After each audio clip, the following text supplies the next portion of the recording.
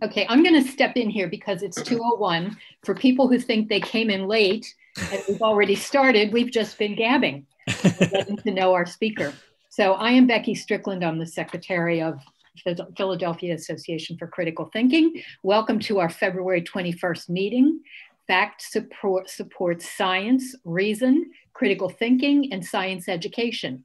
We encourage the thorough investigation of controversial or extraordinary claims using scientific methods. Please see our website, www.phact.org, to join for $25 a year or and or to donate to our general operations or science fair prize fund. Your membership and donations help PhACT sponsor quality speakers like Michael today um, also helps with our Zoom and meetup costs and activities such as our annual summer picnic, which will be this year will be, oh, I cannot find it now. I think it is July 24th. July 24th. I thank you. I will get that information out. Um, we'd like to give a, shot, a shout out to Scott Snell and his National Capital Area Skeptics down near DC. We've been sort of partnering off and on for 20 years or more. Now some information about our Zoom meeting. If you've looked at the bottom of the page, there is a chat box. That is for all participants to talk to each other. There is also a Q&A box for questions. I will be monitoring the Q&A box. Um, you can type them in at any time. Please make your questions concise. During the meeting, oh, whoops, I already said that, sorry. Um, that is all. Our speaker today is Michael Marshall and Eric Krieg will introduce him. Uh, yes, welcome everybody. Um, while we are waiting for real science, the kind that we like to promote, uh, to prevail over COVID, uh, we, have been getting people farther distant uh, away as speakers, but uh, when we can meet in person again, then we'll be back to local Americans. Around 50 years ago, I was totally inspired to be an engineer by watching the landing on the moon. I, I, just thought it was amazing. And not just me, but everyone at the time was wrong in a couple different ways. We thought uh, by now we'd be on Mars and other places. And none of us would have guessed that after all this time, there'd be people who would not only deny that that amazing event took place, but deny the round Earth that you could clearly see in the pictures of, of the astronauts.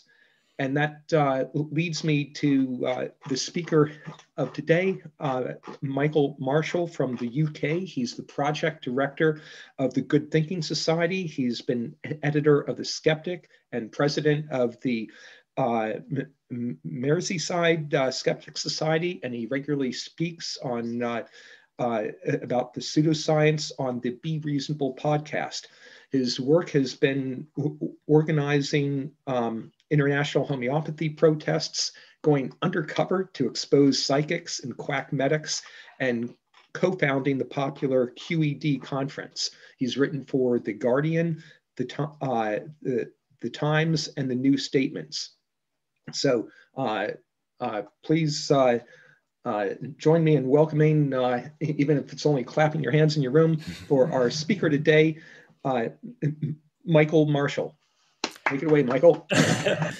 Well, thank you so much, and um, I- have got to say thank you first of all for uh, for inviting me. Um, I was beginning to think I wouldn't have the opportunity to do uh, an international talk to an international audience, uh, given the, the COVID lockdowns. It's always uh, always a pleasure to be able to speak to people from from all parts of uh, the very round uh, the very round Earth on which we live. Um, so if I just jump to my my slides here. Um, you've given a, a, very kind of useful background to, to myself, but in case people aren't too familiar uh, with with who I am and what I do, um, so I was one of the co-founders of the Merseyside Skeptic Society here in Liverpool, where I live, in 2009. And uh, one of the reasons that we set that group up, and I imagine it's quite similar to uh, to to the reasons that your own group set up, is that we wanted a place where people could come who liked to question things, who didn't necessarily uh, ascribe to particular dogmas, um, and also to build a community around something because if you were religious, for example, um, there are there are buildings in pretty much every city in the world filled with people who agree with you on many fundamental things that you can just turn up to a city and you know where to go for where there's people who are going to agree with you. And you don't really necessarily have that uh, rooms where people get together to not believe in stuff.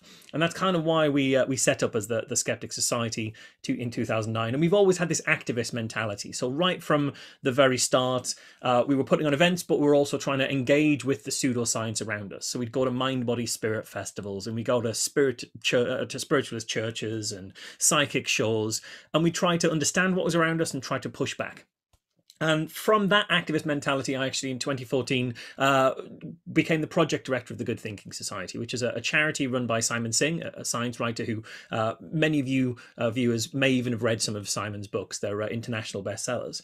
And um, it's now my full-time job to investigate that stuff. And it's quite a, a privileged position i totally appreciate that not many people get to do uh, that kind of work. So i'll go along undercover and, and, check these things out and i'll work with the media and i'll work with the regulators and i'll occasionally even work with the police to expose things that are particularly dangerous or where people are being uh, very misleading.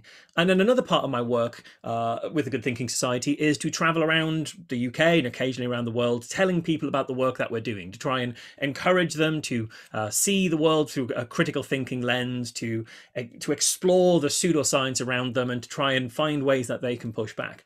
And so it's literally my job to go to rooms filled with strangers and try to encourage them to doubt stuff. And uh, whenever I tell people that's my job, there's always somebody in the audience looks at me as if to say, "That's not really a job, is it?" Um, and to that person, I always say, well, that's how good I am at making you doubt stuff. You even doubt the validity of my own chosen career. Um, but while I've been doing that kind of activism uh, since uh, since 2009, at the same time, I've got this other project uh, called Be Reasonable, which is a, a podcast that I do where I interview people we would disagree with but rather than have the kind of conversations that you'll typically see playing out on Facebook, where skeptics talk to believers in alternative medicine or believers in psychic abilities or conspiracy theories, instead of having that kind of heated back and forth, I try to have a much more uh, collaborative, polite, reasoned conversation where I'm trying to understand as much as possible why people come to these uh, extraordinary beliefs and then try to introduce gentle challenges in a way that isn't going to break the conversation so we can hear as much as possible what's actually going on on in the minds of somebody who believes in these unusual things. And that, that runs right across the gamut from people who believe there are still pterosaurs flying around America right now, and the only reason we don't see them is they're very good at hiding. Um, so from that very uh, fun end all the way up to people who I've interviewed who are white supremacists, people who are selling cancer cures, fake cancer cures to people, really quite damaging stuff, AIDS denialists. And I, I, try to understand as much as possible what they believe. And that's really how I came across the topic I'm going to talk about today, uh, the flat Earth. It was actually the second episode I ever did of the of the of the Be Reasonable podcast. We interviewed someone from the the Flat Earth Society because I was really charmed by the idea that in this day and age, there is still a group of people who think the world in which we live is flat, despite all of the evidence we've seen, not just throughout uh, uh, you know the, the, education that we have, but throughout suffused through culture uh, and our cultural history that have demonstrated the round Earth and even and shown us the round Earth. The fact that people can turn that down and, and turn towards a flat Earth, I found a really fascinating idea. And when I first came across it, it was it was an incredibly small uh, group of people, a very small society, which is why it was a surprise a few years later uh, to see that uh, the flat Earth suddenly exploded. There suddenly seemed to be this this huge rise in popularity from when I first saw it in 2013 up to 2018, uh, which is probably where it reached its height. Where there was a, a, documentary on Netflix called Behind the Curve, which I imagine some of you will have watched. Uh, there was a chap who tried to prove the world was flat by building his own rocket, and he actually went on to die in that rocket later. And there was articles all over the news and even billboards saying research flat earth. And I remember walking down the streets here in Liverpool and seeing a sticker on a lamppost saying research flat earth. And it, it seemed extraordinary to me that it had become such a a part of mainstream society to have this conversation when I'd seen it begin to you know five years previously in 2013 be such a small thing. And I think because I've been watching it for those five years, I think it can explain a little bit about how that rise happened, uh, what what touch points uh, set off the virality of that uh, belief system, and, and what that belief system actually did to people. And that's really what I, what I want to focus on. Um, but to do that, it's worth doing a little bit of background on the, the history of the modern flat Earth belief. So in 1838, it really starts uh, in, in the kind of form that we still know it today with a chap here called uh, Samuel Rowbotham, uh, who's an evangelical creationist who wants to prove that all this evolution, newfangled nonsense can't possibly be true. Uh, any of these kind of, any of the scientific discoveries that are starting to doubt biblical literalism, none of that can be true because the world is flat He's seen it with his own eyes. He can demonstrate it with some very easy experiments. And if those experiments are, are true, then all of the science that's built on the idea of a round Earth and all of the scientists who agree with that must be wrong. And if you point to certain passages in the Bible, you can argue that they're suggesting the world is flat. So it was really a, a biblical literalist position from day one. And one of his experiments that he did was to uh, go to a, a, canal, the Bedford Level Canal here in the UK, uh, and uh, he would get in a, a, rowing boat and row six miles away from his friend who was stood at the starting point on the shore. And uh, looking at the, the calculations of the of the Earth's curvature, after five miles of rowing, he should be beyond the curve. He should have rowed so far away that enough curvature was between him and his friend that his friend would no longer be able to see him. So six miles was certainly far enough that if the world was genuinely curved, uh, he'd be beyond the curve and his friend wouldn't see him. And yet his friend with a telescope was able to watch him the entire six miles. And from this, Samuel Rowbotham surmised the Earth cannot possibly be round. Now, obviously, what we he wasn't taking into account was the the lensing effect of uh, of the atmosphere, which was actually allowing light to bend in much the same way it does if you look at the edges of a glass of water and you see the the pit, the, the image distorted as you look through it. That refractive uh, that refractive uh, element wasn't something he he was bearing in mind. So this was absolute proof of the flat Earth to him. Um, and so he was carrying on conducting experiments like this, and and later in 1870, one of his followers, a guy called John Hampden, um, repeated some of the, the, the, initial Bedford level experiment as a bet with Alfred Russel Wallace, uh, whose name you might well recognise. He was the, the silver medalist when it came to the theory of evolution. He got there just after Darwin. So again, this was done to demonstrate that these evolutionists were wrong because the Earth is flat, therefore the Bible's right. So it was very much that to begin with. And even though he lost that bet, it didn't deter many of Rowbotham's followers. And then in 1881, Rowbotham published this hugely influential pamphlet called Zetetic Astronomy The Earth is Not a Globe. And this is all of his proofs, all of his arguments, all of his logic uh, that, that lay out the case for a flat Earth. And this is such uh, an influential document that many of the flat earthers that we saw uh, in the last five, ten years are repeating arguments that were first proposed, uh, or at least were proposed in uh, this Zetetic Astronomy pamphlet, right down to one of the most popular flat earthers and one of the most cited, uh, heavily cited recent flat earth manual, manuals, essentially, um, actually repeats diagrams from this original 1881 manuscript. So this is hugely influential.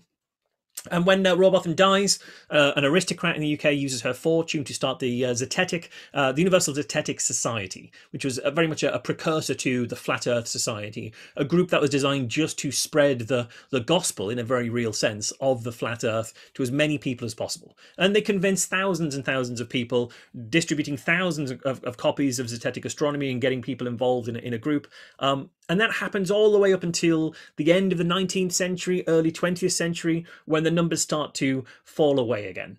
And I think one of the things that started to lead people away from the flat Earth belief in the early 20th century was uh, the, the, Wright brothers, essentially, and the early uh, experiments with aviation. The further you can get off the ground, the more obvious it is that the world beneath you is is curved. So I think that's uh, that that was a limiting factor for them. And so the, the society and the flat earth movement kind of goes quiet for a while, but then in 1956 it's it's kind of kicked back into life by a guy called Samuel Shenton, who you can see here, when he starts the Flat Earth Society in the UK. And Samuel Shenton is an evolutionary uh, denier. He's a, an evangelical creationist again, a biblical literalist. And he's using he's picking up these arguments from 50, 60, 80, 100 years ago in order to disprove uh, science once again and prove the Bible's right again. And then when he dies in 71, uh, this chap Charles K. Johnson takes the Flat Earth Society, transplants it to America, wraps it up with his evangelical church, and starts the Flat Earth Research Society of America. So again, still keeping that biblical literalist root right at the heart of it. Um, 2004 is when the Flat Earth Society in the UK was reformed, and that uh, by a guy called Daniel Shenton, who I always like to point out is not a relation of Samuel Shenton, which I find mind blowing. This shouldn't be the most mind blowing thing about this for me, but it's one of them because I've only ever heard of two Shentons in all of recorded history, and they're both flat earthers. They're not related. I find that remarkable, but that might just be me. Um, but this flat Earth Society that was founded in 2004, you can see the logos of it uh, on the on the screen there. Um, it very much is an online forum where people are arguing about uh, the flat Earth, where they're sharing their their various different theories around the flat Earth and putting putting back and forth around people who are um, believers in one model of the flat Earth uh, and believers of another model of the flat Earth. And also, it's a forum where people who recognise the world is round go and have arguments with flat Earthers, and I'll come to those in just a moment. So in 2013, I interviewed the Vice President, Michael Wilmore, and uh, I found it a really useful conversation. And, and it's one of the reasons that I that I did the Be Reasonable conversations in the way I do, because I wanted to learn as much as possible about the position of the person that I'm disagreeing with. And what I learned from uh, from uh, Michael Wilmore in that conversation was rather than a, homo a homogenous belief system, the flat Earth, it's actually riven by schisms. And I, I, find those schisms really fascinating. So one set of schisms, and it's something that always comes up. Uh, people ask, do they really believe the world is flat? And I think this was a real source of schism for the Flat Earth Society when I came across it in 2013, because there was absolutely a cohort of people, probably quite sizable, who absolutely believed the world was absolutely flat. But then there was another group of people, perhaps smaller, um, who knew for a fact that it wasn't, but just enjoyed the intellectual pursuit of arguing a position they knew to be false, to see how interesting they could get with their arguments, how esoteric, how off the wall, how convincing could their rhetoric be based on what they knew was a falsehood. So just having fun with it being intellectual trolls. The problem was this group of people were really good at it and they really convinced this group of people even more. And so it really cemented the belief for some of these uh, for some of these flat earthers. Um, so that was one side of the schism, and I think that the the presence of this intellectual group of trolls, I think, was quite uh, quite pivotal in lots of ways, because as I say, the forum included people who were going there to argue with the flat earthers, and I think this was people who knew just in their core that the world was round had never really thought about it before, but assumed that everyone who thinks the world is flat must be an idiot. And so, if they're an idiot and I'm right, I'm just going to wade into that conversation and tell them all how stupid they are and point out how obviously wrong they all are. But the problem is, those people who were going to try and correct the flat earthers hadn't really given the flat earth position much thought. Whereas the flat earthers had given it a lot of thought. They were wrong about their conclusions, but they thought about it a lot. So if you go in there knowing that these people are wrong, and the only ammunition you have is the first thing you can think of, which you think proves the flat earth wrong, well, if it's the first thing you can think of, it's probably the first thing they thought of, and they're still flat earthers. So they must have an answer for that. And so because people weren't really uh, ed- educating themselves about the arguments they were looking to debunk before they went flying into these arguments not only were they showing themselves to be kind of ignorant and, and uh, unpersuasive but they were losing the argument partly to the flat earth real believers and really really to the intellectual trolls who'd thought all this stuff through and, and really were, were were having fun picking apart these uh, these arrogant globists. Um, and so they were losing the arguments. And some of those people would have been persuaded to flat Earth, but others uh, would have you know, gone away with the tail between the legs. But the flat earthers who really believe see these arrogant globeheads coming in and having their asses handed to them, being proven that they're completely uh, wrong, like losing the argument, and it really cemented them further. So I thought that was a really interesting thing that was happening. That kind of emerged from the stuff that I was seeing around the Flat Earth Society in 2013. Um, so there was the schism between who believed and who didn't. There was another schism which I found fascinating, um, which was around what shape the world is. Um, because when you think flat Earth, you imagine, well, it's kind of like a disk uh, with the Arctic Circle in the middle, and then all the continents of the world sort of splayed out, the southern hemisphere being spread around the outside of the disk, uh, and then a hard wall of ice around the disk, and beyond that, who knows? And it might be not a hard wall of ice, it might just be an edge, who knows? And that is definitely one model of the flat Earth. But there was a really vociferous schism going on, an argument going on between that model and another model. And this other model said, yes, the Arctic Circle was in the middle, and all the countries were, were splayed out around, and there was ice beyond it. But instead of it being a discrete disk with an edge, that ice just went on forever in all directions. They believed the Earth was an infinite plane in all directions, which bisects reality which I think is a really lovely idea. It's one of the most charming ideas I've ever heard. An infinite plane in all directions that bisects reality. There is the above and the below, but there's no way to get from above to below because it just goes on forever. And there was a lot of arguments going on between the Discers and the Infinite Plane, and they'd all they'd each bring forth a different argument and p- pick apart the, the weaknesses in each other argument and have this really kind of uh, quite a, a vicious uh, debate that was going on. So there wasn't a uniform version of the flat Earth even back then, and people were quite uh, willing to disagree with one another. But regardless which model you had, these models all had drawbacks. Uh, and if you think long and hard enough about them, you probably come up with a few of those drawbacks. Uh, but one of those drawbacks was gravity. If you don't have a, a, spherical Earth with a center of gravity, a mass in the middle, and enough mass to, to pull enough stuff in towards that center, it's very hard to explain gravity.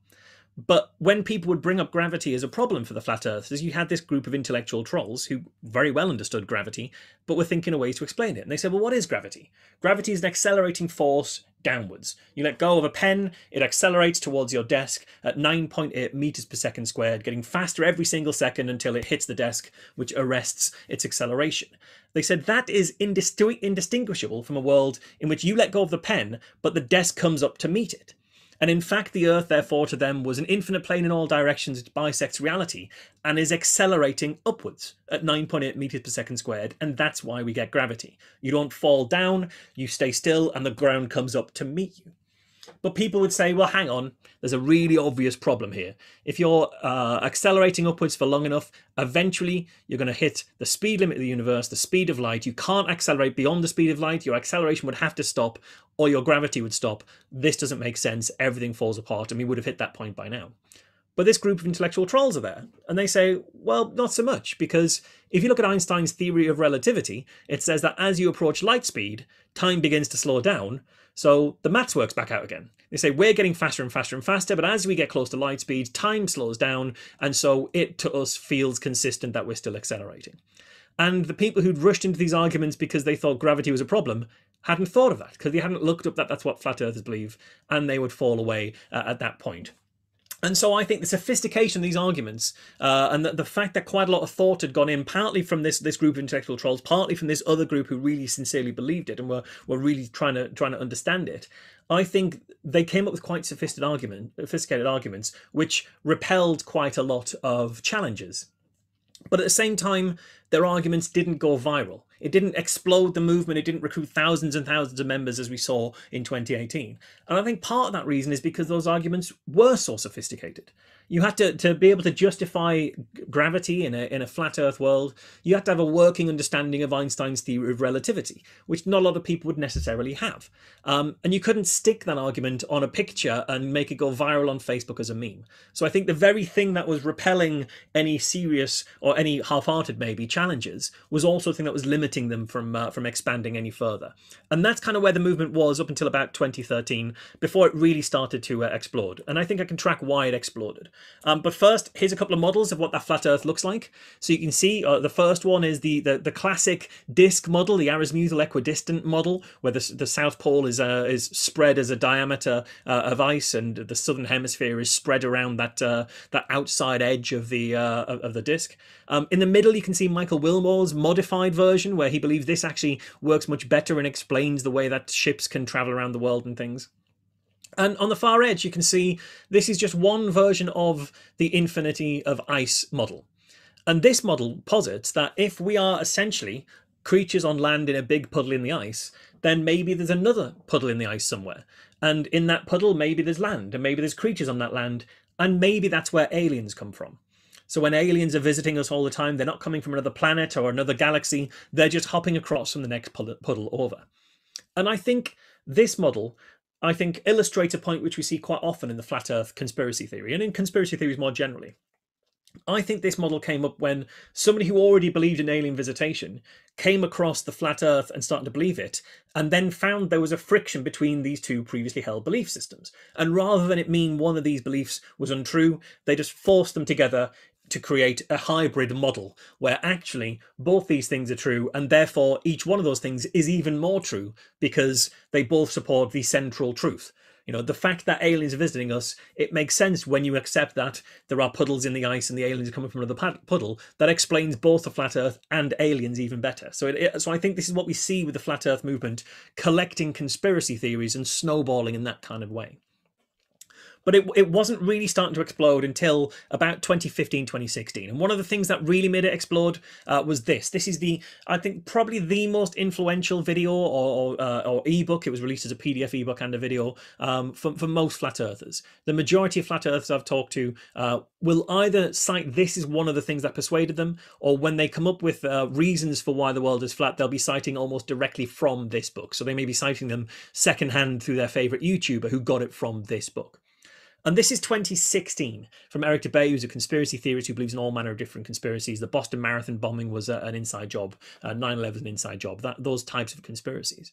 Um, this was released three years after I had that conversation with Michael Wilmore about gravity and the infinite Earth and uh, and all the kind of quite sophisticated arguments. So you'd imagine they'd had three years to refine those arguments and hone them and make them more robust. But what do we see in this book? Argument number one: the horizon looks flat. Show me the horizon, show me the curve. I can't see a curve. You can't tell me my eyes are lying to me. I know what I can see. There's no curve there, therefore it's flat really simplistic arguments, striking at a gut level understanding of what's going on, a gut level understanding of, of what's around you, basic initial observation without real interrogation. They say argument number three is that water always finds its level. You know, water can't stick to a, curved surface, it'll kind of always go flat. If you have a bathtub filled with water and you smush it about a bit, it'll be wavy, but eventually it'll fall flat. And when it falls flat, it falls completely straight. And so that we know if you look, everything falls straight. Water can't stick to a curved surface. If it if the world was curved, the water would wouldn't show that curve. It would have to be flat all the time. And, and that doesn't work if you look at a globe where the seas are curved. They say, well, what about rivers running downhill? If you've got hills leading towards a river, this is very clearly downhill. But once you curve that around a flat surface, those hills are actually going uphill to get to the sea, and water can't run uphill. They say, what about the rivers on the southern hemisphere? They're going a long way uphill to get to the sea. So a complete misunderstanding of the model they're, they're rejecting when they uh, when they put forward these arguments.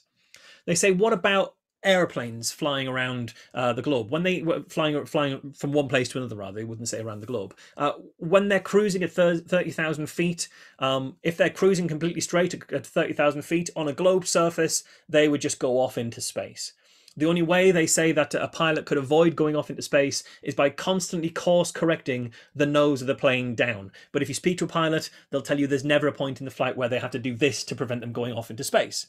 So that so says the uh, the flat earther. This is proof that the world has to be flat. It can't be curved. They talk a lot. There's quite a few arguments about the movement of bodies through the air on a spinning surface.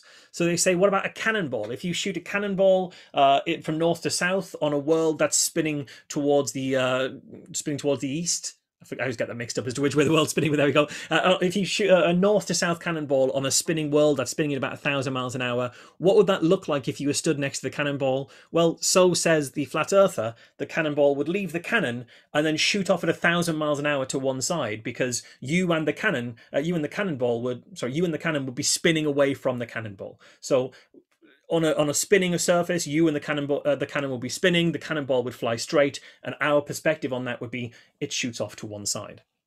Um, they argue helicopters. How can a helicopter fly around uh, an Earth that's spinning at a thousand miles an hour when a helicopter can't achieve a thousand miles an hour? So it wouldn't be able to overtake the spin of the Earth. In fact, what would happen, they argue, is that a helicopter would lift up and it, the ground would spin beneath it. And if you want to get anywhere, you just lift up and wait for where you want to get to to come to you and land.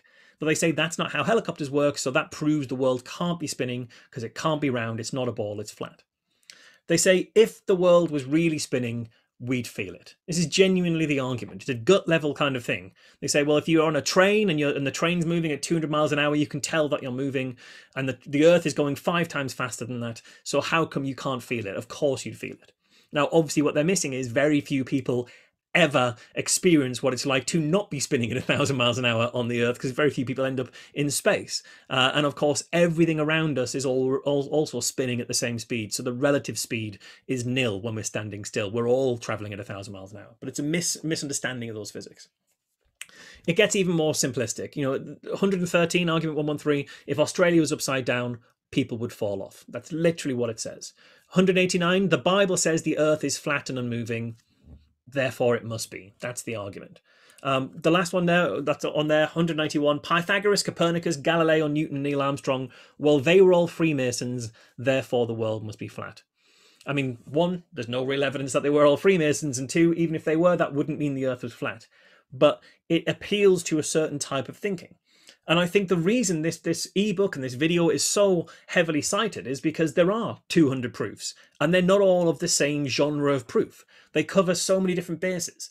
If you're someone who relies on your own powers of observation above all else, there's arguments in there that will justify to you why what you see uh, must be true. If you're someone who's more interested in uh, calculations and formula, there's arguments around curvature calculations taken directly from Rowbotham that prove to you the world is flat. If you're someone who's already a conspiratorial thinker and believes in the Illuminati and the New World Order, there's arguments in there for that too. If you're a biblical literalist, there's arguments in there that you'd agree with. So it takes what's already going to be your weak spot when it comes to believing this stuff, it builds on that, and then once you're in on that first particular point, it presents you, you know, 199 other points that will persuade you as well. Once it's already found a chink in your armor. And I think this is why it was so uh, so influential and successful. So that was 2016, and this was one of the things that really lit the blue touch paper on uh, on the flat Earth movement. One of the other things was this chap here. This is Mark Sargent. And Mark Sargent was in the uh, Behind the Curve uh, documentary that uh, many of you will have seen. He's the star of that. And he was a conspiracy theorist who believed all manner of different conspiracies at the same time. So he thought JFK was assassinated by the US government deliberately. He believed the moon landings were all faked. He believed that a civilization used to live on Mars and it carved uh, a face on the surface of Mars. And he said he, he came across flat earth ideas in 2014 and he thought, this is obviously ridiculous. I can prove this wrong. And he said he spent nine months trying to prove it wrong.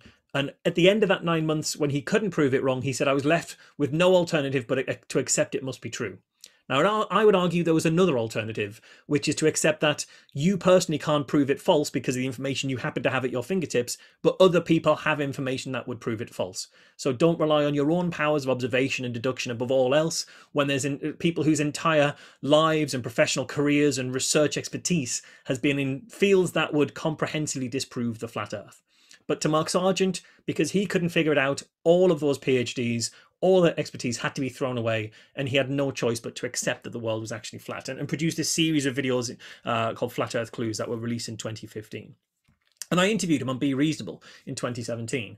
Uh, and he's probably, at the time, was the biggest flat earther in the world. Uh, certainly the most kind of prominent name and, and sort of a celebrity figure in that movement. But because I'd had other conversations with flat earthers, I realized it's not necessarily useful to start talking about the flat earth and arguing about uh, the flat earth without first understanding what he means by the flat earth. You know, there's no point me talking about the, the disk model if he believes in the infinite plane, because any things that I pick up about the disk model might not be relevant to the infinite plane. So first of all, I asked him, what does the world look like to you? What is the flat earth? And he said, well, he does believe in the, the disk model, but he goes one step further and says that disk is underneath a dome. There's a dome on top of the earth, a bit like in the film The Truman Show, he says. And he said it's not even a surprise or a coincidence that it's a bit like the film The Truman Show, because he said uh, the people who know the truth about the world are the same as the people who control Hollywood. And if you're familiar with that euphemism, I promise you we will get to that euphemism. Um, but the people who control Hollywood know full well the world is flat, so they put out The Truman Show as controlled opposition. So that if you started to suspect that the world might be under a dome, people might say, well, I think you've just been watching The Truman Show too much, mate, and dismiss you in that way. So they're, they're putting the truth out there in the form of fiction in order to throw us off the scent and discredit anybody who says that that's true, according to Mark Sargent. And he believes that what happened was in 1960, in the 1960s during the Cold War, when America and Soviet Russia at the time were posturing to try and intimidate one another, one of the things they did was uh, look for, for bases of strategic military importance around the world uh, and also of uh, for reserves of resources that could be particularly useful. And in both those quests, they turned to Antarctica which is true. Um, but what Mark Sargent says is when they got to Antarctica and really started exploring, they found the edge. They came across the wall and realized at that point that the world was under a dome and had been the entire time. And according to Mark Sargent, at that point in the 60s, the Cold War ended and everything after that was a phony Cold War designed to keep us, the sheeple who uh, who, who didn't know the real truth, keep us in the dark and keep us part of the system. So the night from 60s onwards until uh, until Gorbachev and all that kind of stuff, that was all just a big hoax because America and Russia were working together the entire time, according to uh, Mark Sargent. And he has proof of this. And one of his, his main point of proof was the gravestone of Wernher von Braun. Wernher von Braun being the, the, the former uh, Nazi rocket scientist whose, uh, whose technology was behind the V 2 bombers, who was smuggled out of Germany after the Second World War as part of Operation Paperclip and installed into the American space program to use those V 2 rocket technology to power uh, America to the moon. Um, and, and when Wernher von Braun died, his headstone reads uh, with a quote from Psalms 19.1 which Mark Sargent argues is proof of the flat earth. Because Psalms 19.1 reads, The heavens declare the glory of God, and the firmament showeth his handiwork. And Mark Sargent says, why would the father of rocket science, whose technology meant to have got us to the moon, why would he be talking on his gravestone about a firmament, the biblical name for the roof on top of the world? The only explanation uh, Mark Sargent believes is that this is a, a post death confession to say that all that stuff about getting to the moon was a big lie. All that stuff that my technology did was all just propaganda and hoax because actually we can't get to the moon. There's a dome in the way. And while I could live with that in life, I can't let you go on believing that in death. So here's my post deathbed confession. And maybe that's one interpretation of Psalm 19.1. Personally, I think there's another interpretation, which is all about that first clause the heavens declaring the glory of God, for a man who saw his technology as the key to the heavens. The reason we're able to get amongst the glory of God in space was because my technology, Wernher von Braun, my rockets got us there. We were able to, to witness God's majesty firsthand because of what I did in my life. So maybe it's a post deathbed confession, or maybe it's just a way of saying my, my work had some real value and my life had value and meaning, especially after uh, what was earlier in my life and, and the, the stuff that was happening with uh, with the Nazis and the way they used the technology of uh, von Braun. It could be either way. I'll leave the, the viewer to decide which of those two is the more uh, reasonable interpretation. According to Mark Sargent, uh, because there's a dome, it questions the rest of space. So the stars, planets, they don't exist, he says. Uh, they're just projections on the dome, um, a bit like in a, a planetarium. Um, that's all, all we're in, just a, a giant planetarium. Um, he believes the sun and the moon are real, but they're not planetary bodies. They're light sources, independent light sources that move around outside the dome. And I asked him, well, how are they moving around and what's moving them? He said, well, this is the thing. Because we're not even allowed to accept the truth of the dome, we can't ask the big questions like what really is the sun and the moon and why are they moving and who's moving them so the, all of that is hidden because we are forced to accept the untruth of uh, the round earth um, I did ask Mark Sargent, I was trying to understand how he appraises evidence and whether he can change his position and things. And so I said, You believe in all these different conspiracy theories. Is there a conspiracy theory that you used to believe in that you no longer believe is true? I thought maybe if we understand how he changes his mind, we can start to appraise uh, and start to use that as a way of talking about logic and evidence. He said, "It's interesting you asked me that because I used to wonder why are all these conspiracies true, and then I then it all made sense." He said, "I used to wonder why did they kill JFK? Well, they killed him because they knew we couldn't get to the moon. We'd have to fake it because you can't get to the moon because there's a dome on top of the Earth because the world is flat." So once you understood the world was flat, everything else clicked into place. It was like the Rosetta Stone of conspiracies. He said, There is some stuff that I still don't know and I don't understand. He said, in particular, I no longer believe there's a face on Mars, and I want to meet the guy who invented the idea of a face on Mars because I want to know who put him up to it. Because I no longer think there could ever have been a civilization on Mars. And I said, Yeah, but that's because you no longer believe in Mars. You think the planets are painted on the dome. You don't think Mars exists. That isn't what I meant by have you come back from a position. I think you've gone further in a position. But that's um that was Mark Sargent. Um, and I think it's no surprise that you know we've got on YouTube there Eric Dubay stuff, Mark Sargent stuff. People stumbled across this stuff on YouTube. YouTube for a while was actively sending this stuff to people, actively recommending it to people, recruiting people to the flat Earth movement, because YouTube didn't care what you were watching as long as you were watching. Anything that keeps you watching videos on YouTube one after another with your recommended up next video the longer you're on there, the more they can serve you adverts and the more they can talk to their commercial partners and say, we have this many people watching this amount of YouTube per day, so our adverts are worth this much. So YouTube's and its entire algorithm was starting to pick out videos that people would watch all the way through, no matter how long they were, that lots of people would watch them because they thought if lots of people are watching these, we can give them to you, you'll watch them, you'll keep being on YouTube, and we keep getting our ad money. And the problem with that was YouTube wouldn't be able to understand why an audience was watching a video. So some people would watch a flat earth uh, video because they really believed the world was flat. But others would watch it because it was ridiculous and they couldn't believe anybody could believe that. Some would watch it because they thought it was hilarious at how wrong this stuff was. And others would watch a video 10 times because they were doing a point by point dissection for their skeptical blog.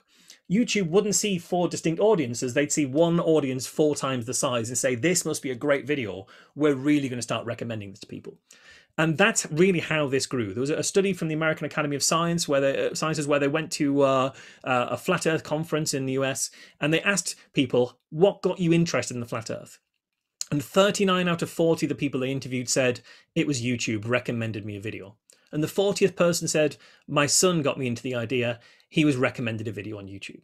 So YouTube had a massive role in uh, in recruiting people to the Flat Earth movement and continued to do so even once they were in the movement. People create their own YouTube videos, but they would go beyond YouTube. They'd even go out onto the streets, and that's what I found in uh, in Liverpool where I live. Um, this is just near Liverpool. This was a local Flat Earth group uh, preaching the gospel of the Flat Earth on the streets of uh, of Chester, just uh, just a few uh, miles away from Liverpool. Um, and you can see here from his placard, "Research Flat Earth, 200 proofs." This is Eric Dubay stuff, straight from Eric Dubay. Um, and so this was a local flat earth group that meets in a pub. And I thought, I'm going to go at that pub. I'm going to hang out with them for a little bit because I, I, was really interested in going along. And I thought, I'm not going there to tell them they're wrong, to laugh at them, to be superior to them, because I don't think that's the right way to go about things. But I'm really fascinated as to why people pick the flat earth as an idea to gather around and what they talk about with one another. So I spent an evening in the pub with some flat earthers, uh, and I found some really interesting stuff. First of all, I was told Never trust any discovery you haven't personally discovered. Don't trust an experiment you haven't personally carried out because you can't trust that anybody else is saying things to you legitimately, that it's not biased. You have to have your own powers of observation to observe it. And I think that's because in the flat earth movement, your own powers of deduction and observation are the primary source of uh, investigating, interrogating, and, and figuring out the world. It doesn't matter what anyone else does or says, what expertise they might have, what other information they have that you don't have uh, or haven't found. Um, your own observations matter most. Doesn't matter that you can't have a particle accelerator in your kitchen. You can throw everything that's been done at CERN because you can't do it yourself. So that was the first thing that was a real mantra for them. But another thing they said was you can't trust photographs. Show me a photo of the round earth and I'll show you a composite job. I'll show you a Photoshop job. I'll show you a hoax because you can't trust digital media. You don't know who who's who took those pictures. You don't know what they've done to those pictures. You don't know how they've been manipulated. Digital media, they said, was inherently flawed because photos don't count as good evidence, whereas YouTube does count as good evidence. Here's this YouTube video which proves to you the world is flat. In fact, what they'd say was here's this YouTube video of an experiment which demonstrates the world is flat. An experiment they hadn't ever carried out themselves. They'd just seen it on YouTube. And I thought that was really interesting because they've got these mantras. Don't trust stuff you can't do yourself. Don't trust digital media manipulated. But when those, uh, when digital media shows them a, an experiment that agrees with them, those mantras go out the window. You can trust it when it agrees with you. And I think it's interesting because this isn't just, I think, something that's endemic in the flat Earth uh, movement, but I think it's something that we're all guilty of. The fact that we go away and Google to check is the one we disagree with rather than one that supports our pre-existing beliefs. And I think that's just what's going on with flat Earth. One of the things that's going on with flat Earth, but writ large, people just believing the things that already agree with them, and then the second you find anything that disagrees with you, you scrutinize it in pixel by pixel, frame by frame detail to until you find a way to be able to dismiss it. Um, so that was that was the the local meetup groups, but actually it went beyond that. There was actually even a, a flat Earth a convention in the UK in Birmingham, in in the centre of the UK. There was 160 people met for three whole days at a, at a hotel uh, just to talk about the the world being flat. Um, it was 158 of them plus me and a friend. Because if you're like me and you see there's a conference like this that exists, obviously you buy tickets and you spend three full days in a hotel with people who think the world is flat. Um, again, not to prove to them how wrong they are and how right I am, but just to understand what does that weekend look like? What brings people there? What are the motivations in their lives and the lives of the speakers? And that's what I want to talk about for the next uh, next little bit of the talk. Um, it was genuinely one of the most interesting weekends I've ever spent in my life. Um, it was largely uh, long periods of boredom, punctuated by moments of unbelievable brilliance, of exciting brilliance, of I can't believe this bit that I've spotted. It was, it was a really, really fun weekend. Um, and I saw lots of interesting speakers, and I think the speakers kind of illustrate uh, a lot of the flat Earth movement. So this is one of the speakers who spoke there. This is Iru Landucci, who is an Argentinian conspiracy theorist who had a, a popular YouTube channel in uh, in Argentina, where he'd share stuff about the New World Order and anti-vaccine information, anti-GMO information, 9/11 uh, truth, stuff like that. And he came to believe the Earth was flat in 2014. Uh, here he is on uh, Argentinian television talking about you know the, the Tierra Plana, the flat Earth. Um, and, and was was interesting for a few reasons.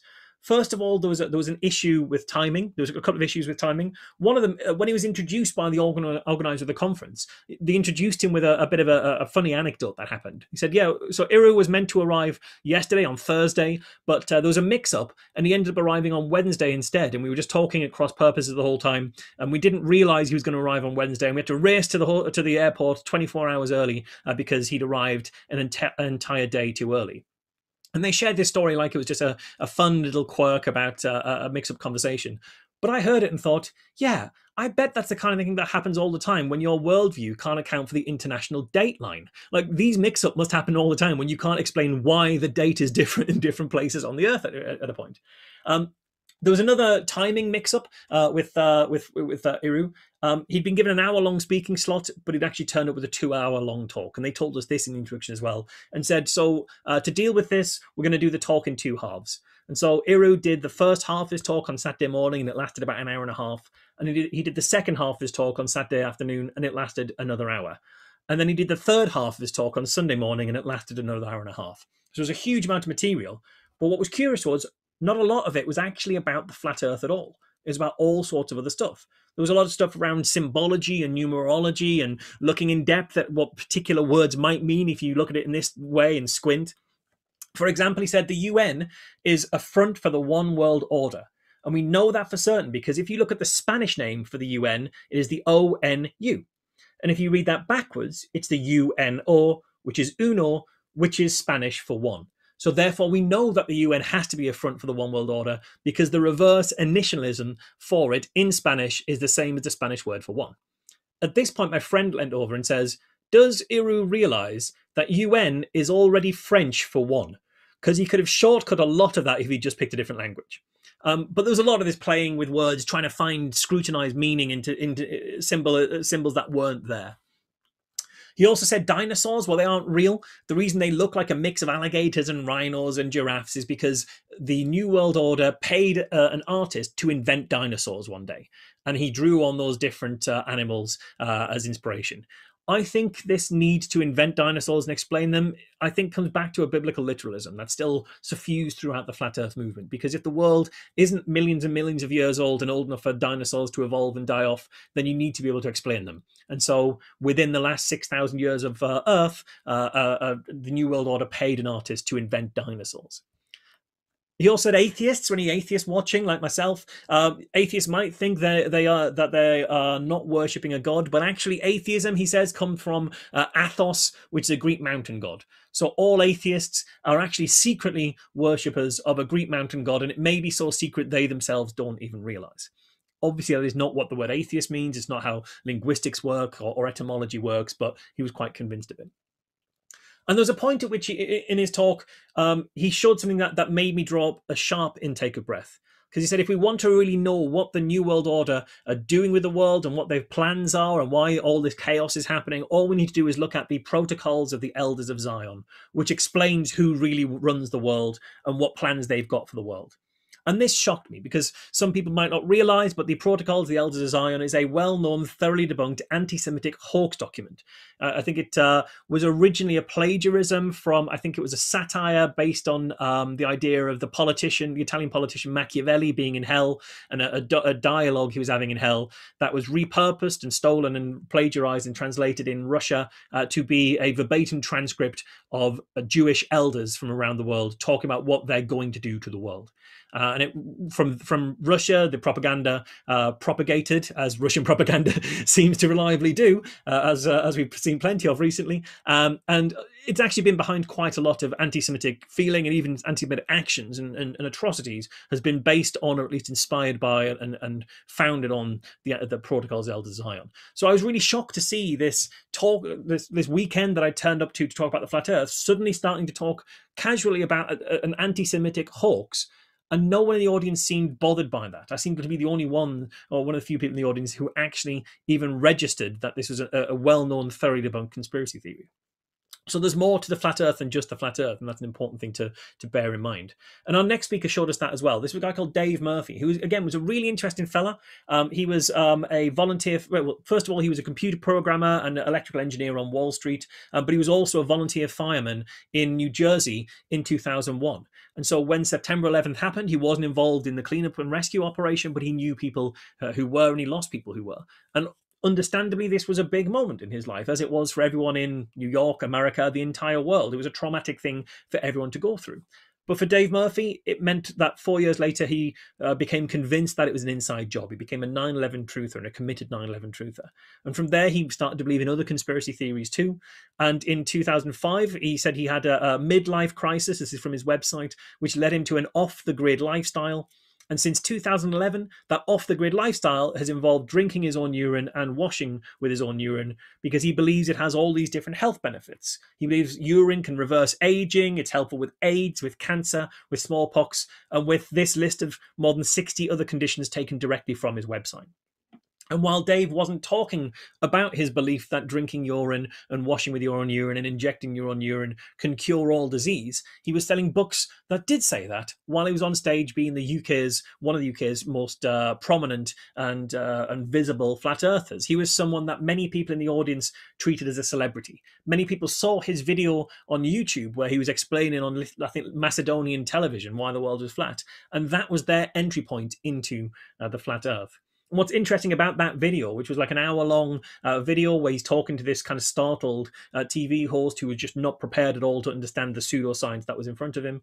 Um, what's interesting is many of the arguments Dave Murphy was using are indistinguishable from arguments that we saw from Eric Dubay, from Mark Sargent, from Samuel Rowbotham. And I think we have this kind of daisy chaining effect where Rowbotham's arguments end up in Dubay's video, who inspires a, another few flat earthers who come up with, who end up being, you know, Dave Murphy sees those those people on uh, on YouTube, has a video himself that goes up on YouTube and per- persuades more flat earthers. We have this kind of daisy chain of uh, cause and effect with more and more people watching stuff on YouTube and getting uh, radicalized into the flat earth position.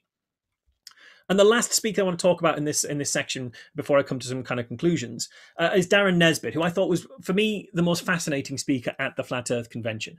Really, really interesting fella. So he was a flat earth, he's a flat earther who also was uh, uh involved in lots of other con- conspiracy theories. 9/11 truth, the Boston Marathon bombing was a was a false flag operation. The Illuminati's running the world, stuff like that.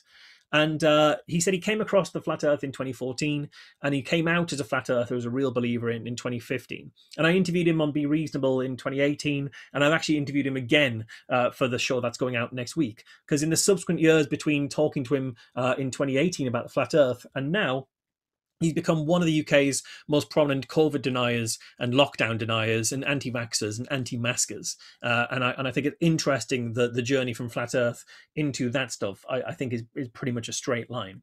But at the conference, Darren was particularly interesting because he explained his own kind of flat Earth mantras. And the first one he said was, be your own authority.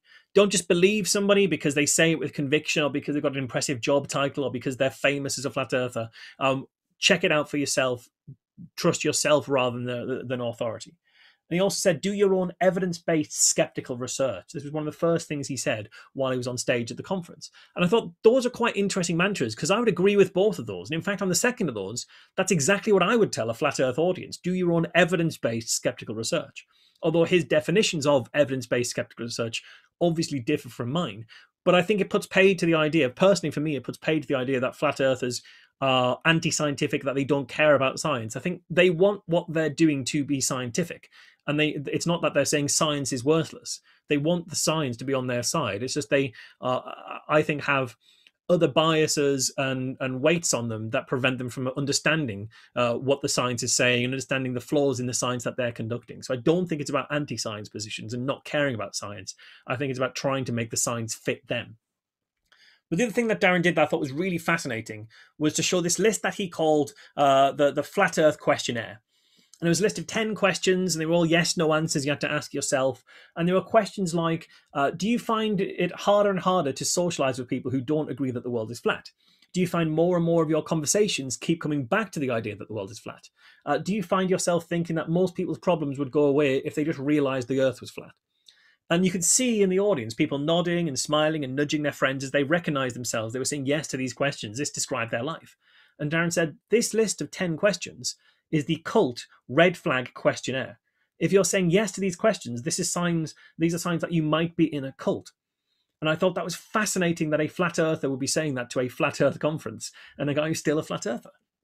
And he's saying one of the reasons you might be in a cult is if you believe in this model. The disc model is patently false. It's obviously false. And he listed lots of different reasons why. Um, some of them being that the quicker, the, the longest, to, most time consuming way to get from a point around the Earth and back to a point is at the equator, which would be on a disk model here. You know, you'd go through equatorial uh, Africa, through South America, and back. When obviously looking at this model, the longest way to get from point A all the way around and back in would be the ice, the diameter. That's how circles work. But observations of people who've actually circumnavigated the globe. He wouldn't use that terminology, but the you understand the point. Um, observations show that in the northern and southern hemispheres, the further north and the further south you go, it takes roughly the same amount of time to get back to where you started, whereas across the middle is what takes the longest. So this disk model can't possibly be true based on that fact alone, and we've got plenty of evidence backing that up. So we've never seen the wall of ice. There would have been pictures from a drone or a helicopter or a plane or something by now, but no one's ever seen it. There's never a point when you're traveling where you have to turn around and go back the other way. Distances in the southern hemisphere aren't hugely stretched compared to the northern hemisphere, which they'd need to be in this disk model, where you've taken the, the southern hemisphere point and stretched it out across the diameter. And uh, a real damning one is constellations. In this disk model, everybody would be looking at the same sky. Yet we know from uh, from centuries of observations that if you're in the northern hemisphere, which in this disk would be the, the middle of the, the, the disk here, you see one set of constellations, but in the southern hemisphere, you see a consistent different set of constellations. So how could it be on this disk model that somebody here in Australia would see the same stars that someone here in South America would see that nobody in the northern hemisphere could see? That doesn't make sense. So this model, you have to throw it away. But Darren Nesbitt says the reason this model exists is controlled opposition. The people who know the shape of the real world are giving you this model to try and throw you off the scent because most people see this model, recognize it can't be true, and default back to a globe rather than pushing beyond it to know what shape the world really is. So he had a lot of right ideas, but came to the wrong conclusion. He then proposed what he thought was a more plausible model of the world, where travel across the northern and southern hemispheres would uh, would take roughly the same time. Across the equator would take the longest, and he explained how it was made. And this is part of a video that he showed, uh, where he explained that the world was sitting on seven pillars because the Book of Job says the world is on pillars, and God likes the number seven. And then he showed this is the is what the world might well look like according to Darren Nesbitt. This is a better shape for the world based on observations. And to be honest, this isn't terrible because getting from west to east in the north at the very northern point would take a short amount of time, at the very southern point would take the same amount of time, but across the equator would take the longest. So it fits that pretty well. But there are some drawbacks to this model. And if you look at it really hard, you might spot a couple of them. Um, one of them being, obviously, you might fall off the edge. But says Darren Nesbitt, that's only if you believe there actually is an edge. What if instead of an edge, there's a four dimensional time space warp? Uh, so the yellow to the yellow and the red to the red, which means if you do start traveling west, rather than falling off the edge, you just go through the four dimensional time space warp and reappear from the east. Continuous travel, like Pac Man. Go off the left, come back on the right. Um, which isn't a terrible fix. It's certainly better than the than the the, the disk model. Um, but I've got a better fix for this. I can fix this model even better. Because if you take that diamond model and hold it in front of you and bend it back until the yellow bit meets the yellow bit and the red bit meets the red bit, what you get to is a three dimensional object, which is like a low resolution sphere. And if instead of taking just three measurements, you take multiple measurements all the way along the yellow line to see where you come out on the other side and map those up, what you get back to is a sphere. You iterate yourself back to a ball. Um, so I thought it was interesting that Darren had rejected the, the disc model. It was interesting that he was working on another model, but I think it'd be interesting to see whether he could iterate himself back to reality by following his instinct to, to, to ask questions and to follow where it leads. I don't know whether he has the the, the space and the intellectual fortitude and uh, freedom from ideology to get back to that, but it'd be interesting. Of all the people I met, I thought he was the one who was probably the closest to it. Um, so there's lots of different models of the flat Earth. Uh, there's even some that I couldn't get into. There was a one model which took them three hours to explain where the uh, the universe, the entire universe, was an egg, uh, and he had this huge papier-mâché version of the model there, which was one of the most delightful and uh, balmy things I've ever seen in my life, and it would take me a long time to describe it, and I unfortunately don't have that time uh, here. Um, how do we know these aren't true? Let's just do a quick bit of debunking of some of those arguments before we uh, before we finish. Horizon looks flat. The number one argument put forth by flat earthers uh, as of 2017 2018. This is actually taken directly from a flat earth meme. This is their argument. This is their picture.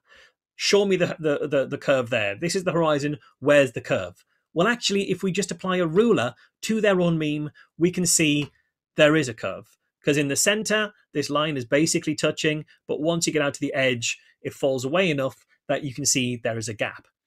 And this, I think, is part of the, the explanations for why people were persuaded by flat Earth beliefs that shot at the gut level rather than uh, worked on people having to have a, working understanding of the physics of the real world. Because we all agree the world looks like this, roughly speaking 24,901 miles in diameter. Let's call it 25,000 miles uh, diameter. Very few people ever get the privilege of seeing it look like that. Very few people even get to see that much of it, or even that much of it, or even that much of it.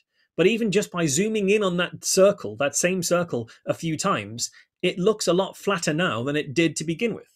And this is because this speaks to what's going on here is that we as people, we didn't evolve to be able to compute things at such a large scale as a planet. We, we, we, don't have the, the brain uh, that's that's designed to work with things of that magnitude. We're, we're built to look at, or we, we evolved to, to be best at looking and working with things that are within our own purview, things that will keep us fed and watered and safe from predators. So our brain just isn't hasn't evolved to have uh, galaxy level thinking. And so when you need to rely on something being you're looking at the horizon it's curved, but it's the curve is so subtle you can't possibly comprehend it because you can't comprehend the magnitude and just how big the world actually is. That doesn't feel satisfying to us. And so for some people, they come to the answer that if I can't see a curve, there can't be one. That counterintuitive rea- uh, nature of reality is what a lot of people are rejecting. And it also explains what's going on with this argument about airborne objects, helicopters, and cannonballs. Why is it that a cannonball shot north to south doesn't veer off a thousand miles an hour to the east as we spin away from it? Again, it's it's based on not understanding the counterintuitive nature of reality because you're just looking for what you can basically observe without really interrogating what that uh, the, the implications of that are. You know, when the helicopter lifts off the ground, it isn't stationary because the it was going at a thousand miles an hour when it was on the ground, and when it lifts up, it's got the momentum of, of going at a thousand miles an hour and continues to do so through an atmosphere which is also spinning at a thousand miles an hour and keeping it moving with it. So everything around it, including the gravitational field it's in, is spinning at a thousand miles an hour, and so relatively it feels like zero, but actually it is traveling. That doesn't feel true, but I can demonstrate it using this really uh, cool illustration this is a, a tractor um, pulling a trampoline at 20 miles an hour. And you can see there's a chap lying down in the middle of the, the, the trampoline there, and he's going to start bouncing, and he's going to bounce higher than those wooden walls. And your gut tells you when he goes higher than the wooden wall on a trampoline that's moving forwards at 20 miles an hour, it's going to move from underneath him and he's going to splat on the ground because that's what it feels like would happen. But that's not what the physics of the situation actually do. That's not what the physics actually are. What happens instead is on the trampoline, he's going forward at 20 miles an hour. So when he lifts up, he goes in a parabola, roughly speaking, at 20 miles an hour and lands back in almost the same place, give or take a little bit of air resistance, which is what those walls are for. But understanding that you need to really understand the physics of the real world before you can accurately uh, predict what's going to happen anybody who comes to that without thinking about it too much will just dismiss it on a gut level, but it's not what's real. And let's talk finally about water. We see a lot of these arguments about water not bending to a curved surface, that it always flows, that it always finds level, it always goes flat on top, that it never goes uphill. Um, this actually was taken from a video uh, that was uh, filmed, I think, by a Lad Bible website at the Flat Earth convention I was at. And this is a chap proving that the world is flat by pouring a glass of water over his head. He says, You see, the water runs off my head because it's a curved surface. The same is true of the Earth. All the water would just run off. Fundamentally, not understanding and not engaging with the physics of the real world. This is another flat Earth meme about water. As I mentioned at the start about those hills going uphill to get to the sea. And you can see here, this is one of their own memes, that the water starts on top of this hill, but to get to the sea, it's got to go uphill rather than downhill on a curved surface. Whereas if you flatten that curved surface out, it's going downhill to the sea. So they argue this is proof the world is flat because water can't go uphill, it must be flat, so it's going downhill. This is fundamentally misunderstanding what gravity is doing because gravity isn't doing that. They, they assume that gravity is down because at a local level, gravity to you will always be down. You don't think at a, at a planet sized level, you don't think at that magnitude. Your own experience is gravity pulls you down.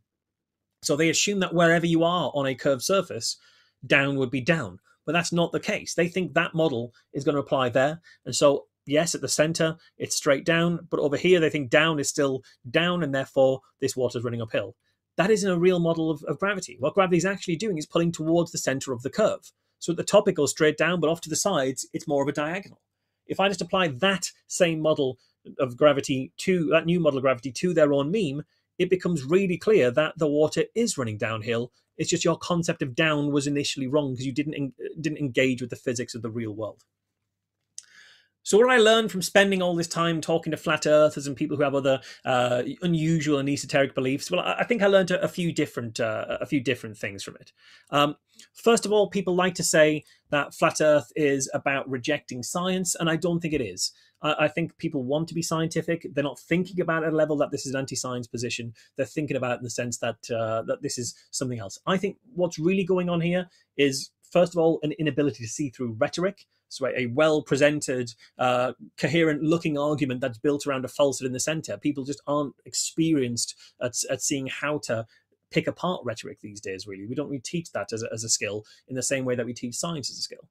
But I think more to the point, it's about identity and values. I think once this belief starts to take hold from, from whatever reason that people might have uh, a gap in their life which leaves them open to this belief, once it's in there, it becomes part of who they are, and it's much, much harder to shake at that point. You don't question the fact you agree with, you question the fact you disagree with. And so I think once it's about identity, um, we've seen people who became flat earthers in 2015 and ran a flat earth conference in 2018 gone from three years from finding an idea to becoming so core of who you are that you're flying people from other countries at your own personal expense to talk to you about it i think that speaks to it fulfilling a need and you need to understand that that what need it's fulfilling and how people can have that need fulfilled elsewhere before you can start to sort of move people away from it. So we need to understand that it's not them just going i don't care about science. There's something else going on YouTube's had a massive hand to play in this through the way that it was actively promoting this stuff to people. And once it stopped promoting Flat Earth, it started promoting QAnon to people. And I would argue if YouTube and Facebook had just as much a, a hand to play in promoting those uh, dangerous conspiratorial ideas. But the thing is, when we talk about Flat Earth, we shouldn't talk about it as one homogenous belief because there's there's variation within the flat earth world. You might believe that the earth is a, a disk that it's an infinite plane that it's a dome that it's the cosmic egg model. Um, there's lots of different versions of flat earth. And if you really want to have a, a productive conversation with someone who's a believer not just in this particular idea but more more generally as a principle if you want to understand and have a useful conversation with somebody who believes in uh, in pseudoscience it's useful first to understand what it is they mean by the things they say what they actually think because then you can understand how to start to unpick that if you assume what they believe, then you're going to have a gap in in terms of your knowledge of what they're actually thinking, and the things you say won't look true. You'll be that person who stumbled into the flat Earth forum, uh, assuming that because you knew the globe was round, you could prove all these people wrong, and you're not going to do anything. And, and worst case scenario, you'll actually do damage in doing so and persuade people that people like you are wrong even further. So I think it's worth understanding first, but also understand that flat Earth isn't a single belief. It doesn't exist in isolation. If we treat it like it exists in isolation, we miss the bigger picture. Because yes, you believe the world is flat, but you also believe that the Bible's literally true, or that there are signs of Satan everywhere. You believe that the Illuminati and the New World Order are in control of everything and that they may or may not be Jewish. You believe that vaccines are evil, chemtrails are evil, GMOs are evil, fluoride's evil, alternative medicine's wonderful. All this other stuff is in there. And I think when you miss that, you miss the real picture that this is a, a, a, patchwork of lots of different conspiracies that just, uh, and flat earth is merely just one of the symptoms of an underlying cause. I don't think it's about accepting a belief per se. I think it's about rejecting mainstream belief. Once you're outside of the mainstream, you're on my side, which is why people start to snowball and accumulate other things that are outside the mainstream as they piece together this other grand narrative. I think one thing to bear in mind and something that really struck me as I was uh, speaking to people at the Flat Earth Convention was just how many people talked about uh, Flat Earth being, it came to them at a point when they were going through something particularly hard in their life, a personal trauma. I was having a really hard time, and then I found the truth of Flat Earth, and it all made sense. And I think for some people, either a personal crisis or a trauma or even a mental health crisis is enough to make them jump tracks onto another conspiracy belief. And even if they recover entirely from that in terms of their own personal well-being, they may not realize that they're on a different set of tracks now and they're heading in a different direction. And so when we talk about the flat earth, we should be really aware that there could be a, a traumatic element to what led people into it. Um, and finally, I would say, if we want to try and help at all, and I think the only reason I'm involved in skepticism, because I, I, do want to help, um, if we're looking to help, then we should think about how best to do that. And for me, I think the way to do that isn't through mockery and through calling names and, and shouting at people and being superior, but it's through understanding them and trying to listen to them first and then help them back out of it. And I think that's really how we can talk to people we disagree with and how we can uh, pull people back from uh, the edge, uh, if indeed there is an edge. Um, thank you so much for, for listening. All right, I am coming in here Michael, that was amazing. amazing. Thank you. Um, very exciting to talk to somebody who's a professional skeptic. And at first I thought, wow, that's my dream job. And I realized how very, very, very difficult. um, so, good for you. Uh, we have quite a few questions. I also want to tell you our chat function blew up. Excellent. I'm glad. I couldn't keep up with it because I have a little trouble scrolling the Q and A, but um, I, we're going past 80. Oh wow! usually we have about 20. Right, I see. really, really got people thinking. So let me get into the Q and A. Um, yeah, the very first question came in at two o'clock, and it's it's interesting because some of the questions since I think you've already answered, but this question is are there specific ideologies that are sort of gateway drug ideas that lead people towards conspiracy theories? And you, you did just mention mental health crises as, as yeah. a possible trigger, which I, I think is very smart. So yeah, go ahead. Yeah, I think so. I, I go beyond mental health crises. I think lots of personal crises that may not be uh, mental health. I, I, think it could be people lose their job and feel hopeless, a relationship breaks down, somebody else that they're very close to is ill. I think the thing that leads people uh, in terms of flat earth one of the things that really led people towards it i think was was isolation um, when people feel like they don't have connections to people when they feel like they didn't have either whatever community or support structure they had around them failed in some way um, whether whatever way that was um, I think that's when people turn to uh, grand narrative conspiracy theories to explain what's going on, uh, and I think in partly it's because if your world, if your world and your life aren't it's not going the way that you think you'd like it to be if it if if you're struggling with something that feels um, out of your control these type of conspiracy theories can be a way of, of grasping that control back um, which sounds paradoxical when you think that some of it involves there being an evil, shadowy organization who run all everything and, and, are responsible for all the evil in the world and everything bad ever happens to you. But it, but if if the alternative of that is that everything pretty much or most of the things that happen the biggest things that happen in your life happen through random chance complete uh, circumstance, you know, coincidence, those types of things that I actually think are the, the biggest factors in our lives is just random chance, unfortunately, chaos theory, butterfly effect. Um, that's quite a worrying thing and quite a scary thing to accept that your world can take a massive d- downturn for literally no reason at all, other than someone's going to be on the, the, the, the, the crappy end of the stick at some point. Um, whereas the reason this is all going wrong is because of them is a much more satisfying worldview because it might not seem like it's going to plan, but it is going to a plan. It's going to an evil plan, but it's a plan nonetheless. Someone's in in charge, someone's steering. And if it's someone evil, then all we need to do is gather together and, and rise up against the evil people, or just make everyone aware of the evil people, and then it all goes away again. So I think that that sense of kind of social isolation is is one of the real factors, and especially social social isolation that leads you to spend a long time online alone, where you're going down these these rabbit holes that the technology is is leading you down not deliberately but also not accidentally. You know youtube doesn't want you to be a flat earther. It just wants you to be a, a, passionate youtuber. It doesn't care what flavor of youtuber you are. Facebook doesn't want you to be in a qanon group. It just wants you to be in a group that keeps you commenting and liking and going back to the platform again and again and again because that's how it serves ads. So those two things really were, the, were what got people in. Um, and then beyond that just ideas I'm, I'm not sure if there was a particular idea like a subject matter that gets people in um i, I think it, it's it's more about exposure to small edge small edges of an of uh, of these ideas rather than being hit with a full narrative yeah yeah sounds good sounds good. Um, could you briefly describe, you used the term zetetic, I hope I'm pronouncing it properly. So we had a couple people who asked what you meant by that. Oh, that's a good point. Um, you know, I probably can't describe that. That that was the name they chose for it. I, I think it's kind of. I did know. I'm not going to give a very definition, but it's kind of a questioning.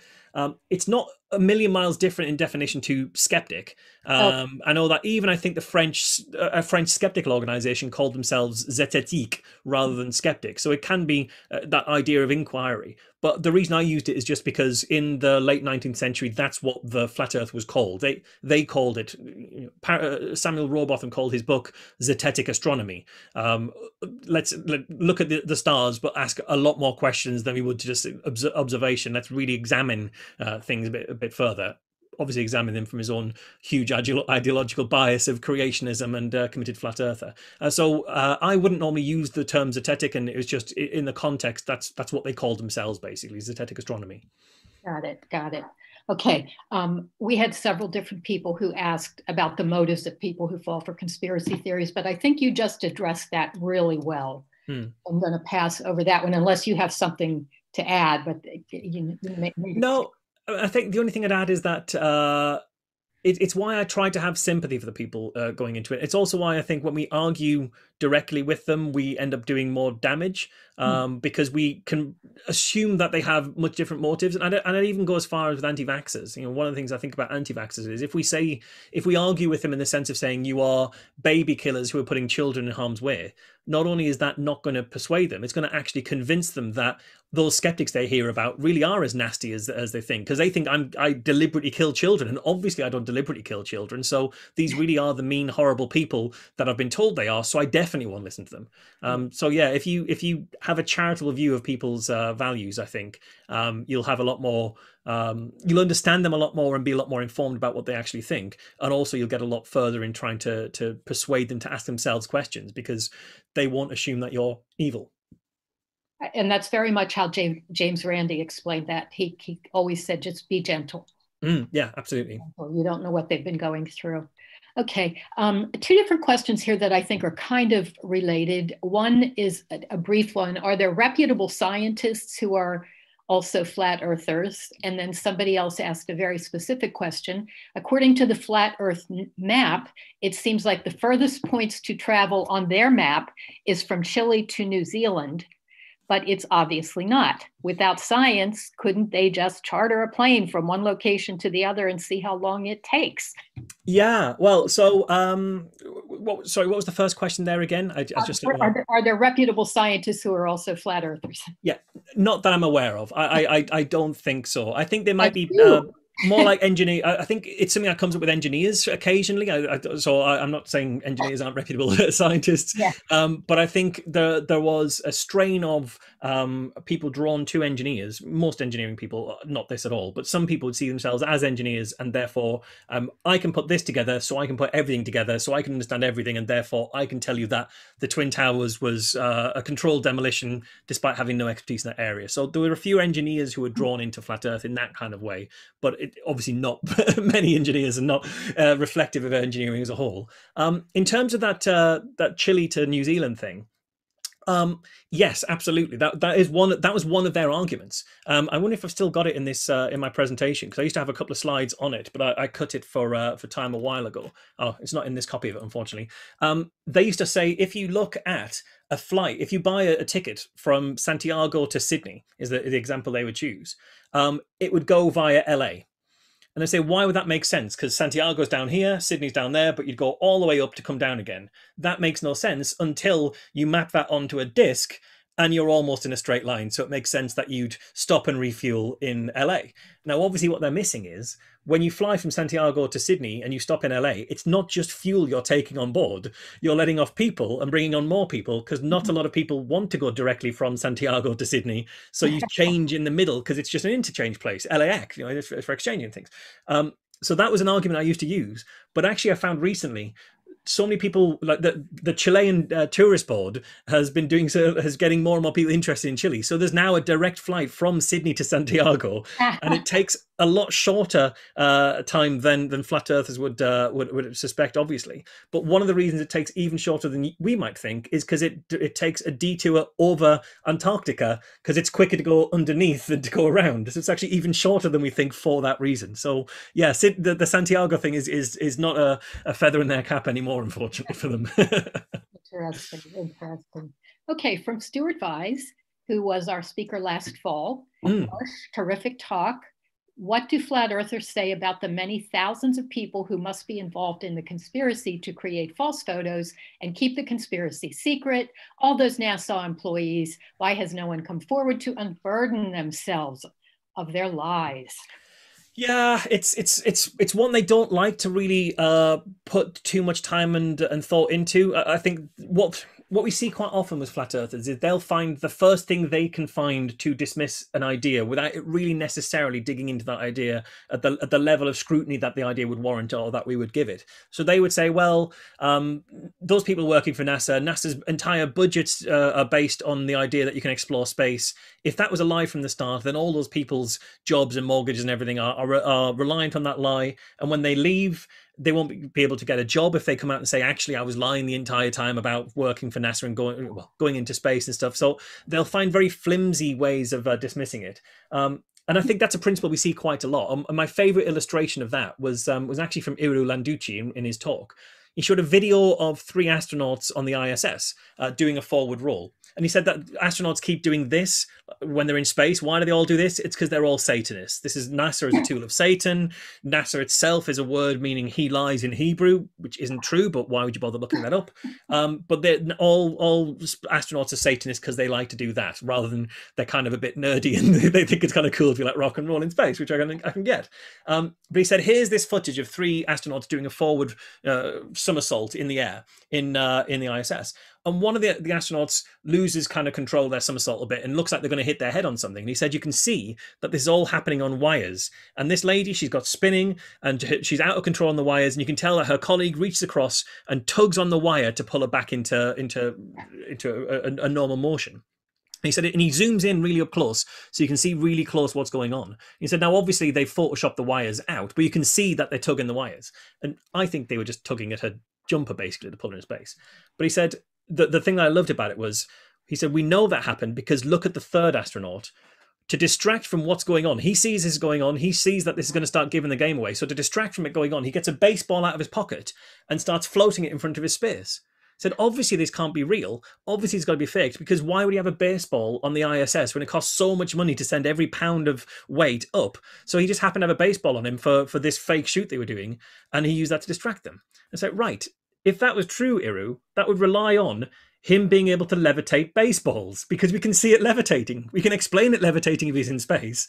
If this is all done with wires, did he wire up the baseball ahead of time or can he just telekinetically move the baseball? So even in that argument, they went to the pixel by pixel level detail of zooming in on what they thought was happening here, but missed the really obvious thing that undermined their entire point. And we see that with where, what about all these people coming out? Well, they're scared of NASA, they're all Satanists, their money depends on it. They find the first thing, and that's good enough for them to, to throw the whole argument out. Okay.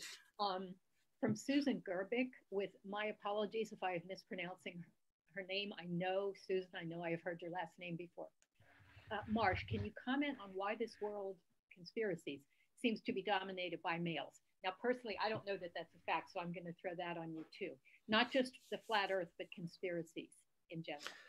Yeah, yeah. Um, I think I think it certainly was the case that conspiracy theory more generally was uh, a more male-dominated pseudoscience.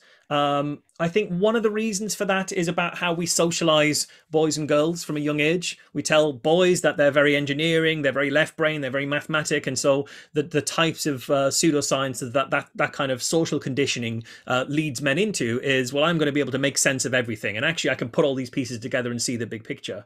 Whereas society tells uh, girls that they're nurturing and caring and you know motherly and things like that, and and I think that's you know a, a, a bullshit breakdown into how we are. That's not true about uh, men and women but it's how society teaches us to be. And so the types of pseudoscience that uh, that that that target women tend to be more around alternative medicine caring for people and, and psychics in terms of that kind of ongoing care even after the dead. So i think that's that's my my hypothesis as to why men are more drawn to conspiracy theory. I don't think it's anything innate about the male brain. I don't think that's particularly uh, a contributing factor. I think it's about how we teach men and boys to see the world and how we teach girls to see the world as a society.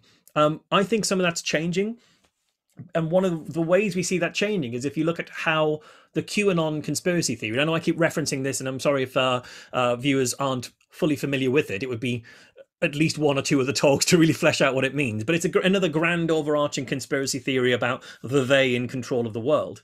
Um, that really took hold in online spaces that are more targeted towards women recently when it pivoted towards save the children children are being trafficked into satanic pedophilia and it really took hold in places like the online yoga spheres and, and instagram accounts for wellness um, and i think again using that uh, social constructed idea that women are all about nurturing first and foremost, where those spaces were all about health and well-being and nurturing, and, and the, the idea of targeting children got women into this. But then the conspiratorial aspects of QAnon are probably fairly evenly split because there's so much of that kind of what they call pastel QAnon, the, the pastel colored uh, posts on Instagram that actually is sharing uh, conspiracy theory. So I, I, don't know whether conspiracy theory will continue to to change towards a more uh, equitable distribution across society, or whether it will uh, regress back into a, a more male dominated uh, targeting. But but that's my theory on it anyway. Interesting. And while you were talking, Rob Palmer, who was um, a speaker for us last year, maybe the year before, time goes so fast. He said that he thinks women tend to be anti-vaxxers more. Mm. So, you know, we we have our own.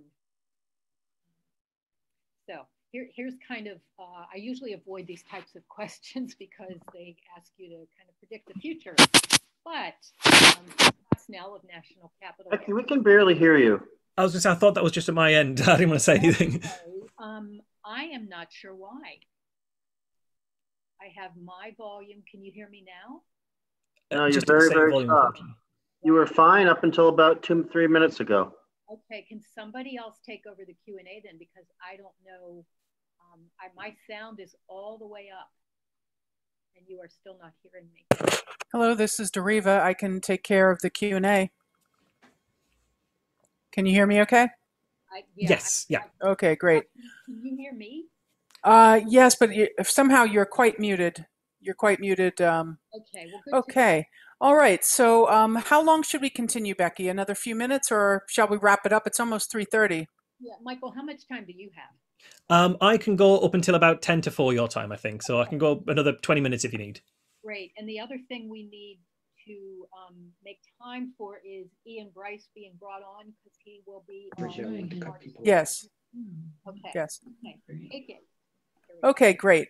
Um, so I, am going to go ahead and continue with the Q&A. Um, so one question is, is that a fair assessment that some flat earth believers seem to not be against the science as a philosophy, but they are only against the science as an establishment?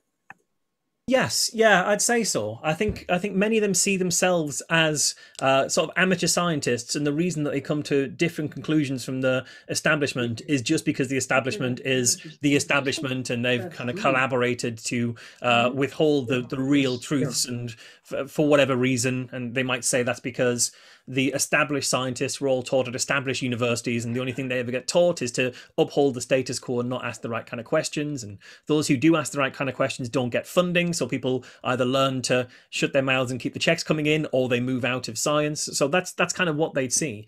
But one of the things we saw at, uh, at the, the, the Flat Earth convention I went to was a speaker who'd set up a fairly reasonable scientific experiment. He'd set up his kind of camera with a zoom lens in the same spot every single night for like two two months, I think it was, and he'd shoot the the same portion of the sky for the same duration time every single night, and then he'd put into uh, into a spreadsheet uh, all, all, the coordinates of where where the moon was as it tracked across the sky, and then he'd compare those coordinates to the official numbers, and he'd find small variances between his figures and the official figures And he'd use that to say, you see, the official figures have to be all completely wrong because I've just proved with my own experiment what the, the coordinates actually are.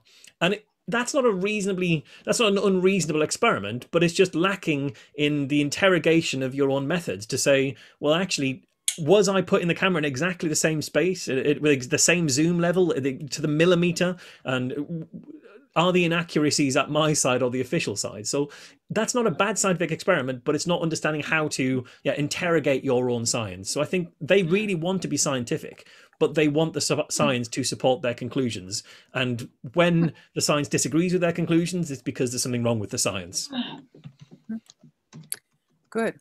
So, what was the best example of a conflicting conspiracy or conflicting conspiracy theories that you've heard from a single person? Oh gosh, that's interesting. Um, oh blimey, off the top of my head, I'm not sure I could. Uh, I could get there. I know that there are um, there, there, are famous studies where people look at things like uh, uh, Osama bin Laden, and the people who believe that he was a patsy uh, the entire time also believe that he was never killed. Uh, he was, he was a patsy who was bumped off uh, by the CIA in order to uh, keep him quiet. Also believe he was never killed and is still continuing living somewhere. and I, I, believe it was even predictive that if you believed in one conspiracy theory, you were more likely to believe in a con- contradictory conspiracy theory than if you didn't believe in the first one. Um, but I'm saying all that to pad to try and find whether I, have got some examples of my own. Um, I suppose my favorite example, and one of the ways that I found um, the I interviewed a Hollow Earther once, who was a really interesting chap. I won't go into too many, too many details, but we spent 20 minutes talking about details of the Hollow Earth. I asked a question I thought was innocuous, and 20 minutes later he's defending the uh, the Nazis and denying the Holocaust, and I didn't expect it to go there, but there oh, we go. Um, but the reason, the way that I found Hollow Earth as a belief is that there was a there used to be a Flat Earth podcast put out by the Flat Earth Society, and on the second or third episode they interviewed a Hollow Earther, the one that I later interviewed. And I went into the interview thinking this is going to be amazing because obviously they massively disagree. These two worldviews are completely incompatible. But what I found is they didn't really disagree hardly at all. All they did was agree that the one view of the world everyone else has in mind isn't right. And so long as everyone else is wrong, it doesn't matter what flavor of right, right we are between us. Um, so they were quite happy to let glaring inconsistencies in their worldviews uh, pass as long as they agreed that the scientific establishment was really trying to control things and all that kind of stuff. So that's probably the closest example. I probably got a better example if I if I really think about it, but I probably won't think it up until uh, until tomorrow or something like that. Thank you. That's great. So we have a specific uh, question from Scott Snell, and I'm mentioning Scott, Scott Snell because we had a positive shout out to him early in this talk uh, to thank him um, for uh, mentioning you to us. And Scott mm. says um, someday space tourism will probably be available to regular folks and he hopes he lives long enough to see some flat earthers make the journey. He would be curious to see how they would react.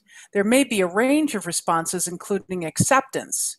But then the question to you is do you think any of them would take a ride, and do you think they would change their minds as a result?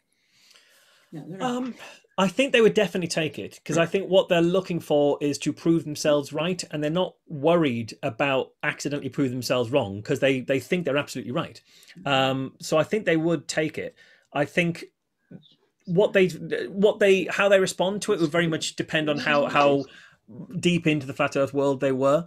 I think some might accept it. I think I'd like to think Darren Nesbitt would accept it um because I think he's got a different model of the world in his head anyway and I think he's also someone who the conversation that I'll put out uh, that I had with him next week uh, conversation I'll put out next week that I had with him already uh, in that he actually changes his mind on a few things when when presented with counter evidence so I think he someone like him would accept it I think others would just um believe that what they're seeing wasn't real mm. because when, once space travel is uh, is a tourist industry, we won't be uh, doing spacewalks on the outside of uh, of uh, the ships. I don't imagine we'll be looking at it through at best windows, probably more likely computer screens, and so they'll just see it as well. Of course, they're going to carry on showing us the picture of the flat of the Earth being round, even though we're outside of a, a, a flat Earth, because they're not going to let us accept the truth. So they'll always find find ways to uh, rationalize out of there.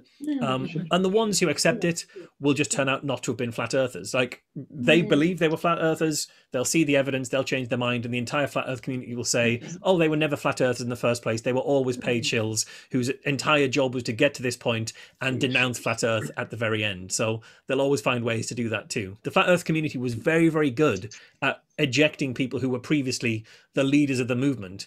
And when they ejected, I, I think many people don't believe Mark Sargent is was it, not only is he no longer a flat earther in their minds, he was never a flat earther. A guy I met at the UK convention said, "Oh yeah, Mark Sargent, he was a shill the entire time." But the same guy was repeating to me the talking points that Mark had in his videos and saying he saw them in Mark's videos. So, well, how come you're saying you were persuaded to believe the world is flat by someone you now think is a liar, but you're still believing the things he said when he lied. Like, where is the consistency here? So, um, yeah, it's not a, a worldview that uh, that tends towards consistency. Yes, thank you. Good. Um, so, uh, two related questions: Are there reputable scientists that you know about who think the Earth is only six thousand years old, or who and or who support homeopathy? Um, yeah, yeah. I mean, they're they're there. Um, I mean, someone like Luc Montagnier, for example, uh, Dr. Luc Montagnier, a French doctor who uh, I think won a Nobel Prize for his work in HIV research, is now uh, putting has been for some time putting forward the idea that water can contain energies of other things, and, and that ends up uh, supporting homeopathy. Um, so it, it definitely happens, and and it, I don't believe there are any uh, reputable geologists who think the world is six thousand years old. Um, but there are definitely people who have who've got geology degrees and even geology PhDs who think that um, they don't want to be reputable in their field. They got that in order to say, "I'm a geologist and I believe this." But I think that's one of the things that we we we kind of know is that um, people who can be very brilliant in one area can be completely wrong in another area. And one of the unfortunate things is the more brilliant you are in one area, the, the more used you are used you are to being brilliant, which can lead you to to miss your own ideological gaps and your own uh, your own fallibilities. So yeah, the problem is smart people are just people and people who are very smart are really good at believing nonsense because they're really good at justifying to themselves why the nonsense is true because it must be true because I believe it and I'm really smart. So yeah, they're very good at finding justifications, unfortunately. Mm. Good. Um, okay, so um, one of our attendees was asking that it's their impression that flat earth believers will champion contradictory flat earth models, maybe even a hollow earth model, yet will not consider any sphere earth evidence or spherical earth evidence. Um, why do you think that is? Yeah, I think it's just because um, for a lot of people, it, it's not really about what shape, shape the world is. It's just about what shape the world isn't. And I, and I met someone at the, the conference who was actually selling merchandise, and we asked him about that, and we said, "Isn't it strange how the last guy got up and pointed out how that disk model cannot possibly be true and showed you really obvious reasons why. And then the next guy got up and started saying he believed the disk model, and no one in the audience seemed to bat an eyelid at that. And he said, "Look, I don't really mind whether it's round, whether it's whether it's a disk, whether it's a diamond, whether there's a dome. All I know for certain is it can't possibly be a sphere. That's all that matters to me." And i think that's kind of what's going on here is there's a kind of a collective outgroupness.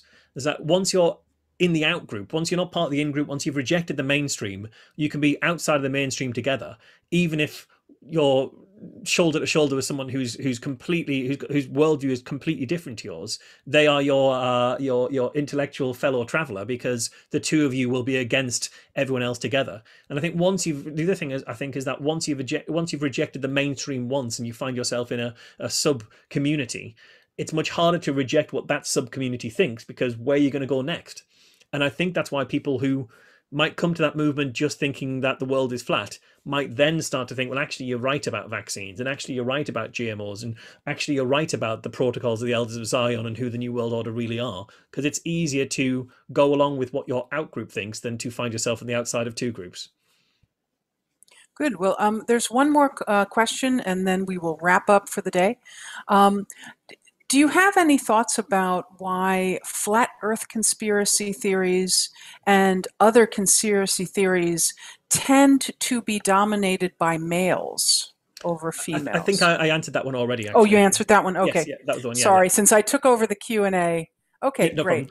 um, so we've wrapped up on our questions. Is there anything else you'd like to to say before we wrap up? Yeah. Um. The one thing I like to leave people with uh, is that people often ask me, "How do you like?" Someone in my life believes in X. What do I do about? How do I persuade them to to change their mind? And it sometimes comes up with flat Earth. More often now, it comes up with stuff like QAnon or, or anti-vax and stuff like that. And I always like to give people this this this analogy, which is um, imagine an asteroid going to hit the Earth. The way that Hollywood deals with that is to send up Bruce Willis with a team of miners and a nuclear bomb to blow that asteroid up. And realistically, what would happen is all those shards of asteroid are still on a collision course with Earth, and it's just going to be widespread de- devastation. And when there's someone in your life who believes in something that's completely untrue, and you Bruce Willis them, you go head on and say you're wrong, you're an idiot. All that happens is a big explosion, widespread devastation. You're not going to change their minds. Um, but if we talk to astrophysicists about how we actually plan for an asteroid impact, and one of the ways they, they talk about avoiding it now is that you spot that the asteroid's coming and you send up something, uh, a probe or something like that, that's got enough mass to it that it hangs around next to the asteroid and the gravitational pull of the probe slowly over time alters the direction and the path that that asteroid's on. And over time that that pull is that the gravitational pull is subtle enough but over time the cumulative effect is that it changes the course and it's no longer going to hit earth and it's going to going to miss us. And that's how you change people's minds that you love. You don't try and do it all in one go. You don't try by, do it by telling them how wrong they are. You try and do it through gentle persuasion. You stay around them. You stay the person that they love and care for and respect and you ask them little questions that aren't there to try and challenge them, but are just there to make them think. And you say things like, "Well, that's interesting, but help me understand this. When I when I think about it, I find this problem. Help me co- overcome this problem, rather than you're wrong for this reason." And if you do that, maybe you can get them to change their mind. Um, just don't expect them to ever tell you they've changed their mind because that's the hardest thing any of us do, and uh, people don't like to do it. But that's that's my analogy on how to uh, how to to slowly persuade people that you uh, love and care about without losing them. Well, thank you so much. And many people in the chat are supporting, uh, loving, loving that methodology. Excellent. I'm glad to Great. hear it. So- I ho- I hope you never have to put it into action. So thank you for speaking with us today. Um, I'd like to wrap up and say that our next PhACT meeting, which will be online, will be March 20th at 2 o'clock p.m. Eastern Time.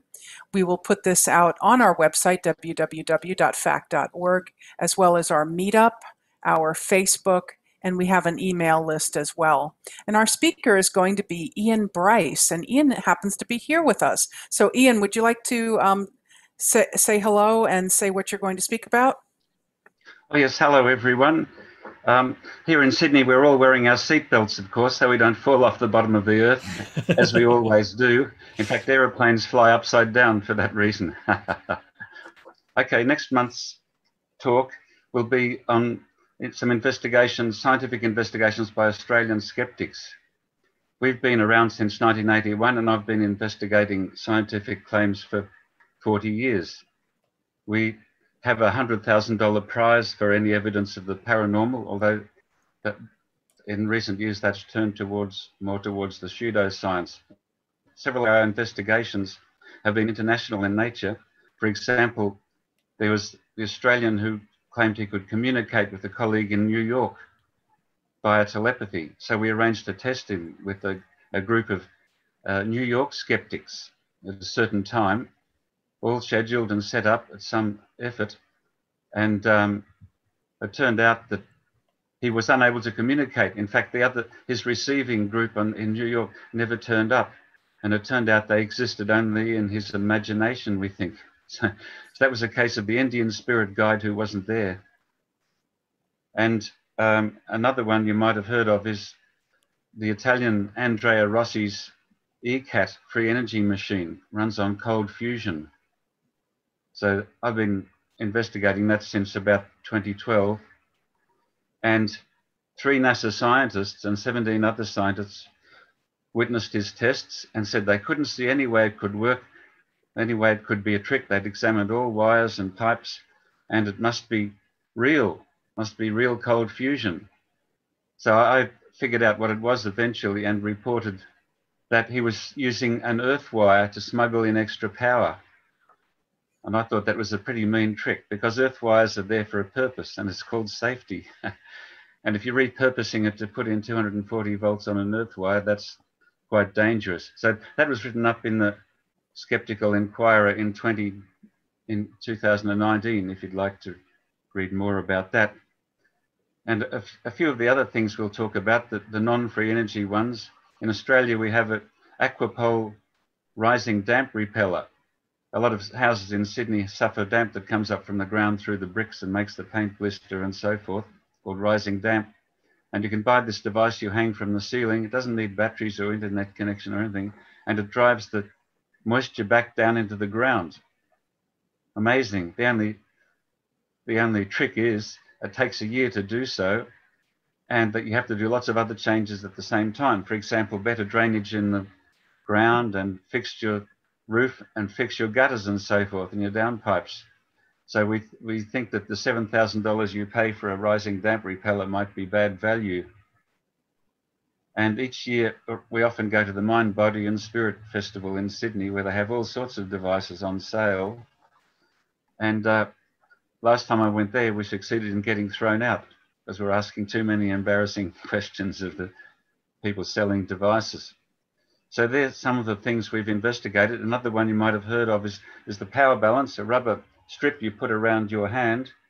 And our Richard Saunders showed that he could reproduce all of the tests they do. It's claimed to improve your, improve your balance, strength, and flexibility. It's easy to duplicate those through simple using properties of the body, and he demonstrated on television how that worked.